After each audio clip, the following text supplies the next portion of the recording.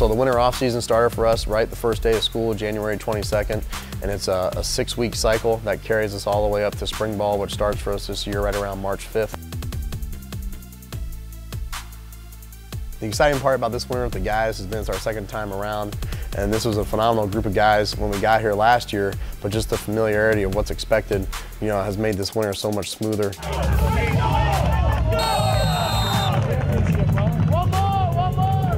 Next six and a half weeks, all right, it's going to be a rough six and a half weeks. And I don't mean that from the standpoint of it's our goal to sit there and come out and crush you every day. All right, you know how I am. All right, we put science behind our programs, practical experience behind our programs. And at the end of the day, I put our program up against anyone in the country because we are the elite of the elite, and you are the ones that make that happen.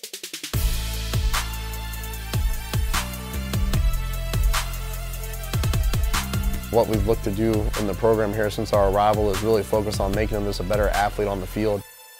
It's not so much about how much a guy's benching or squatting, but more so, are we creating a better athlete? How are they moving? How are they running? How explosive are they?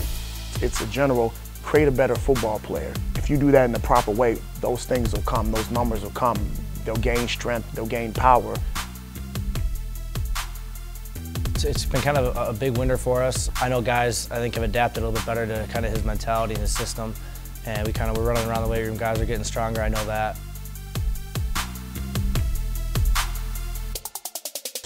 Wisconsin's a competitive place, you know. Uh, just uh, we come in Friday morning, like we already know what the deal is. It's about to be offense versus defense. You got to go into the tug of war, which is the biggest, which is the big event basically. Like it's strength versus strength.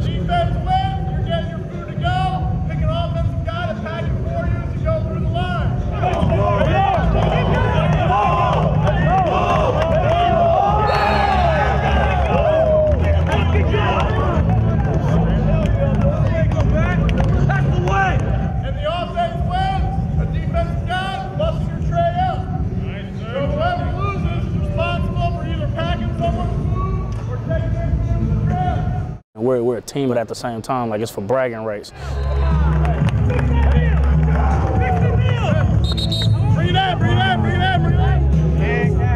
All right, so defense.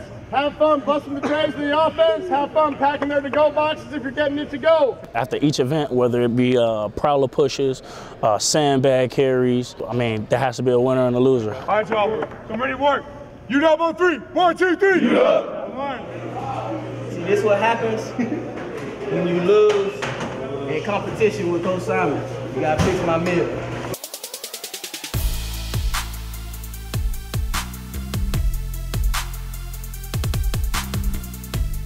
Our strength conditioning staff, you know, Jameel Walker, Jeff Zolke, Micah Cloward, Billy Brider, all those guys do a phenomenal job with our guys every day. And, uh, you know, it's exciting to see how the guys work every day, the attitude they bring, the competitiveness they bring, and the willingness they show to work and constantly get better.